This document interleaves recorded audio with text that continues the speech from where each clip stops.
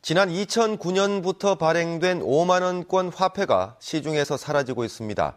개인이나 기업들이 풀지 않고 보유하고 있기 때문으로 보이는데요. 우리 경제에 좋지 않은 영향을 미친다고 합니다. 금교신 기자가 보도합니다. 시중은행들은 지난 1년 내내 5만 원권이 모자라 큰 어려움을 겪어야 했습니다. 특히 지난해 5월 금융소득 종합과세 한도가 4천만 원에서 2천만 원으로 축소되자 세금을 피하기 위해 은행에서 돈을 찾는 수요가 폭발해 말 그대로 품귀 현상이 빚어지기도 했습니다.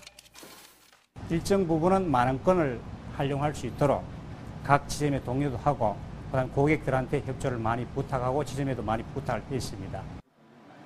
한국은행 대구경보본부에 따르면 지난 한 해 지역에 풀린 5만 원권은 모두 1조 6,300억여 원.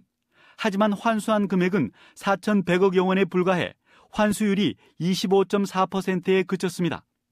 전년도 환수율 48.2%에 비해 크게 하락했고 전국에서도 환수율이 가장 낮은 수준입니다.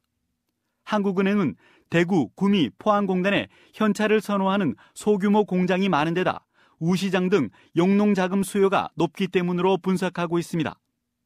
그러나 정부의 세원 추적 강화 정책 이후 탈세와 상속 등의 목적으로 개인이 보유 중인 현금이 많아졌고 투자처를 찾지 못한 자금이 환수되지 않고 있다는 분석도 설득력을 얻고 있습니다.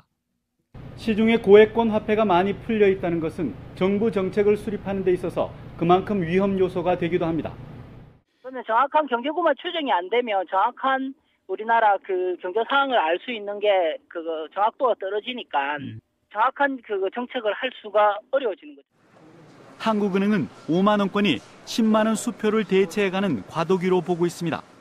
최근에 5만 원권 환수율이 계속 낮아지고 있기 때문에 한국은행에서는 금융기관을 통해서 5만 원권의 발행과 흐름 현황에 대해서 모니터링을 강화하고 있습니다. 현금 이용의 편의성을 높여온 5만 원권이 경제의 불확실성을 가져오는 위험 요소로 변질되고 있습니다. MBC 뉴스 금교신입니다.